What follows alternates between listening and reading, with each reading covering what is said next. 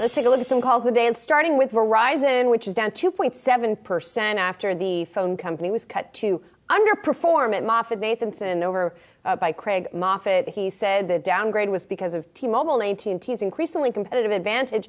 Really interesting note here. The price target is at $41. It was at 55 previously.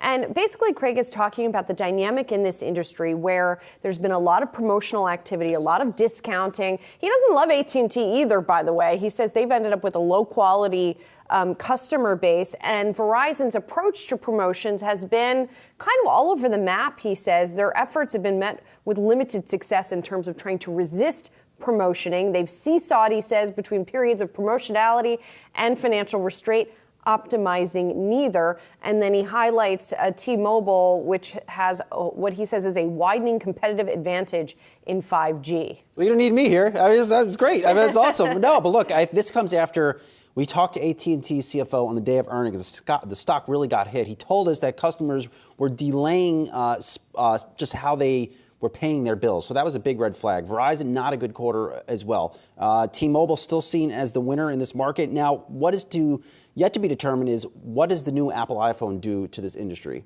Uh, that is obviously going to be a premium product. Is it enough of a form factor change to that will drive better sales and the street is looking for uh, over at AT&T and Verizon. Unclear, but again, this is another bearish note, and we've seen a couple of them uh, on Verizon and definitely on AT&T. You know, I just did a word search for Apple in this note. Mm. It's not in there, so not it Apple. seems to me he doesn't necessarily think it's going to mm. do any favors for Verizon. By the way, uh, Craig also cutting his price target on AT&T um, to $17, which is a little more than a buck below where it's trading right now.